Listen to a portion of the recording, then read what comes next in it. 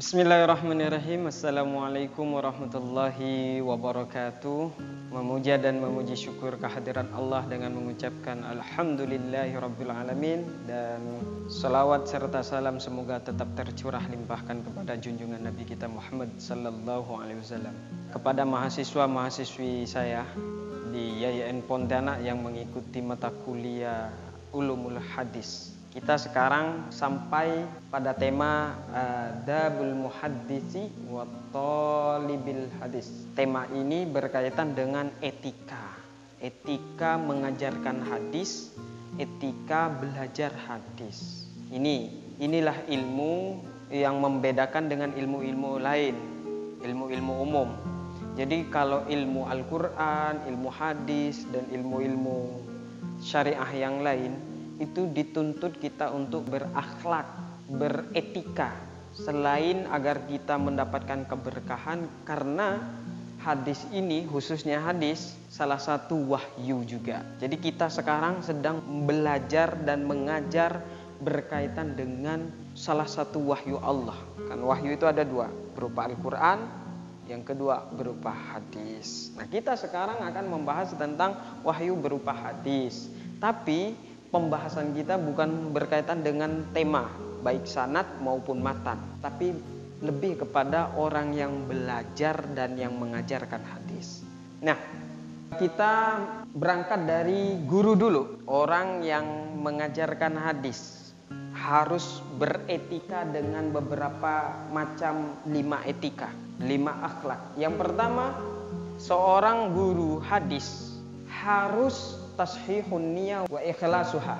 Jadi seorang guru pengajar ulumul hadis atau hadis itu harus niatnya diawali dengan niat yang baik, yang ikhlas, yang bagus karena Allah. Insya Allah kalau kita awali dengan yang baik-baik, maka apa yang akan kita transfer, insya Allah itu juga baik. Ikhlas itu apa?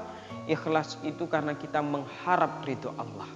Mengharap ridho Allah dalam mengajarkan wahyu. Wahyu hadis maksud saya. Nah, jadi yang pertama harus memperbaiki niat. ya. Jadi niat misalnya yang baik itu gimana? Niat menyampaikan hadis karena Allah. Bukan membuat murid pintar, bukan itu. Itu nanti belakangan. Yang paling penting adalah kita sebagai guru hadis atau ulumul hadis yang pertama adalah karena Allah. Yang pertama. Kemudian yang kedua ayat tahara wa yatatayyab. Harus bersih dan harum. Ya, harus suci, suci dari hadas besar, harus suci dari hadas kecil. Jadi, guru harus menjaga kesuciannya dulu juga suci di dalam niat, suci di dalam hadas besar atau hadas kecil. Selain juga harus harum. Kenapa harus harum?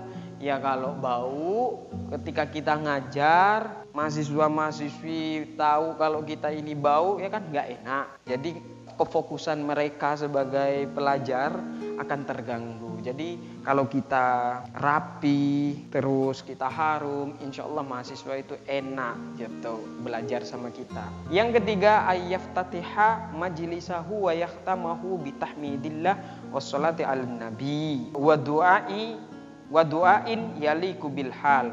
Jadi seorang guru ketika mengajar ilmu hadis atau ilmu-ilmu agama yang lain sangat dianjurkan untuk membuka majelisnya dengan Alhamdulillah dan sholawat kepada Nabi. Itu sangat sangat dianjurkan. Sebab itu kalau kalau kita mengajar agama ilmu agama kita disunatkan Allahumma sholli ala sayyidina Muhammad setelah membaca Alhamdulillahirabbil alamin atau dengan redaksi apa pun yang penting diawali dengan tahmid memuji kepada Allah dan bersolawat kepada Nabi Muhammad. Nah, kalau majelisnya atau taklimnya atau kajian ilmunya sudah selesai berakhir, ditutuplah dengan doa yang pantas atau yang cocok dengan sikon pelajarannya. Ya kalau misalnya belajar tentang hadis, doanya tentang hadis. Semoga Allah memberikan hadis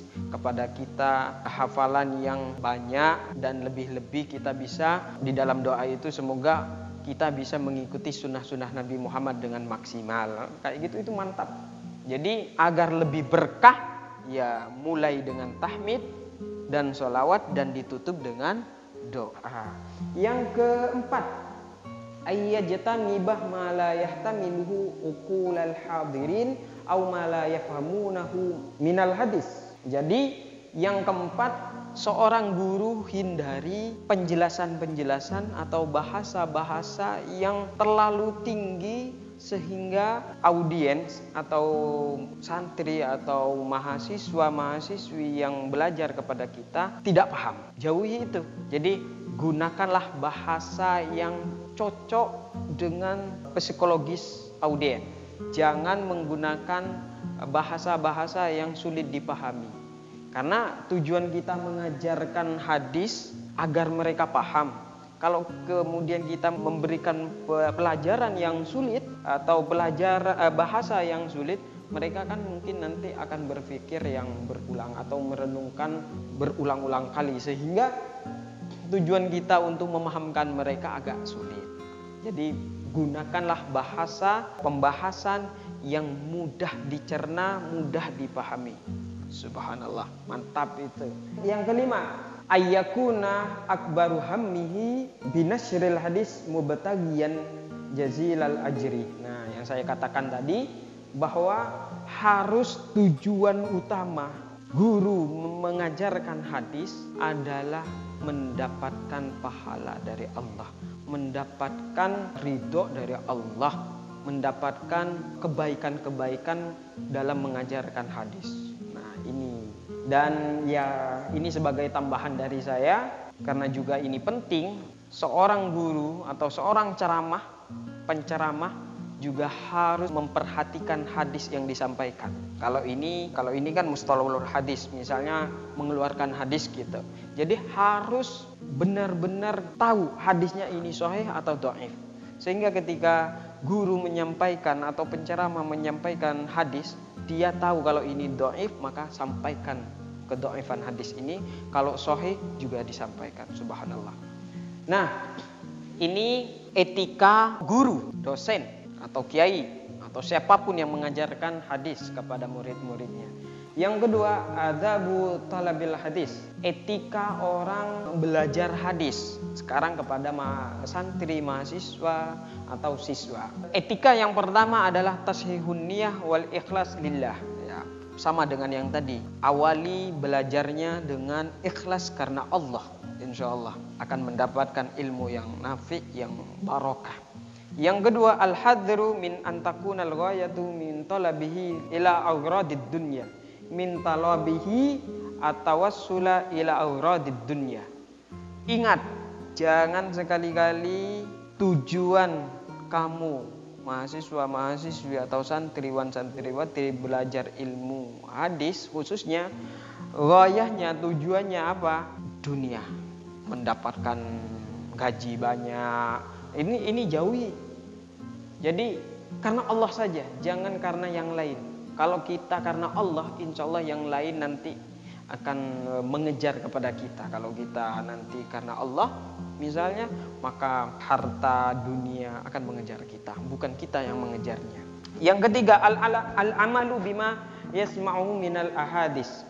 Mengamalkan hadis yang dia dengarkan dari gurunya. Jadi kalau guru menyampaikan suatu hadis, menyeru untuk melakukan suatu hal misalnya maka seorang talibul ilmi atau talibul hadis harus mengamalkan. Karena ilmu yang bermanfaat adalah ilmu yang diamalkan bukan dipahami atau dihafalkan. Karena ilmu itu sebenarnya bukan ini tapi yang diamalkan. Bukan yang ada di otak tapi yang diaplikasikan di dalam sehari-hari. Itu ilmu dan yang keempat ayu abdima syaikhahu wa man yasma'u minhu yang menghormati, memuliakan gurumu.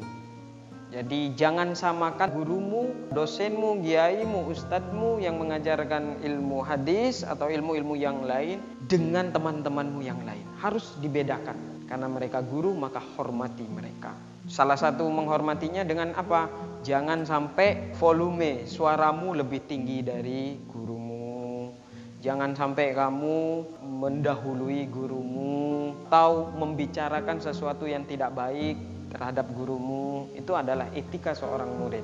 Dan yang terakhir, Allah yamna'uhu, ini kurang ya alla yamna'uhul hayau awil kibru minas sa'i fis sama'i wa akhdil ilmi. Jangan sekali-kali talibul hadis, pelajar itu malu atau sombong, egois atau tidak pengen belajar ilmu. Jangan, jauhi itu. Jadi harus hilangkan rasa malumu, GR-mu juga hilangkan dan rasa takaburmu karena misalnya kamu lebih hebat misalnya itu hilangkan untuk kamu mencari ilmu. Jadi kamu harus lebih merendah diri untuk mencari ilmu, mendapatkan ilmu dari siapa pun. Ini adalah etika e, guru dan murid di dalam belajar ilmu hadis secara khusus. Tentunya ini juga bisa dipraktikkan di dalam ilmu-ilmu yang lain. Terima kasih, semoga bisa kita amalkan bersama. Wassalamualaikum warahmatullahi wabarakatuh.